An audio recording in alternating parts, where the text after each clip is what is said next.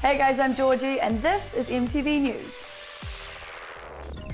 Selena Gomez is living her best bikini life after revealing she's finished with her album, which is great news for anyone with ears and or eyes. In a live stream on her friend Connor Franklin's account, she said, I am done with it, and that it is coming out later, which is very vague given that technically later could mean later this week, or it could mean later this century. More details of the album are similarly vague, but in May she told Zane Lowe, I have so many exciting things coming. It just feels like it's my time and it's my pace. I'm not trying to throw a bunch of music in people's faces until I'm ready. She also mentioned mentions that she's working with writers including Justin Tranter and Julia Michaels, saying, I had this instant soul connection with them. They're some of the people behind Bad Liar and Hands to Myself, which are arguably the best songs that Selena Gomez has ever released. So get excited about the ambiguous later when Selena's album is finally here. Maybe stay tuned to her Instagram where hopefully she'll drop more news soon, or if not, just more hot pics of her chilling on a beach.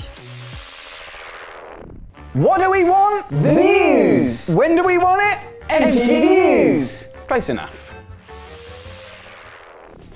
Okay, everybody, clear your calendars, find Chloe Ferry and pin her down because there's a Nugget Festival coming to the UK. Oh my god, it's Chloe! I said pin her down! Pin her down, everybody! Oh my god! She's got Listen to this and listen carefully. After years of hiding in the shadows, the humble late night snack is finally going to be given its time in the spotlight with its very own festival. When I say nug, you say it. Nug.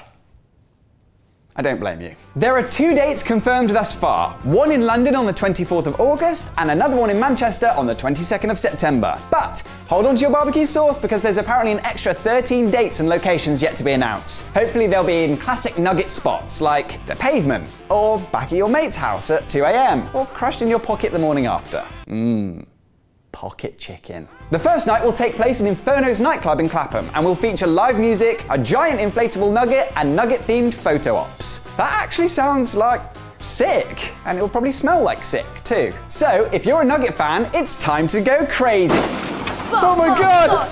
It's Chloe again! Not that crazy! Not that crazy, Chloe!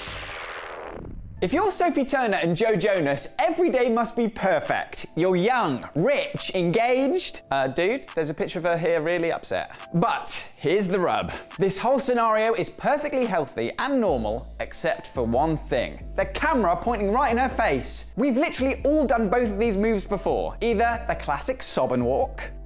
I just bloody hate. Or, my favorite, the uncomfortable arm around the shoulder and stare straight ahead. Just act like it's not happening. If I don't look at it, it'll go away.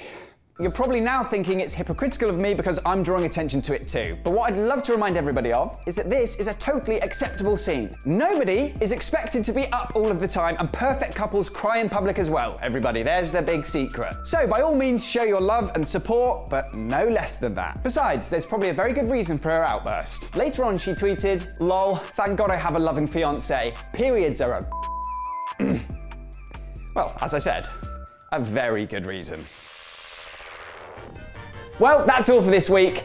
I've been Zach Fox, and this has been Next Week. Not good enough.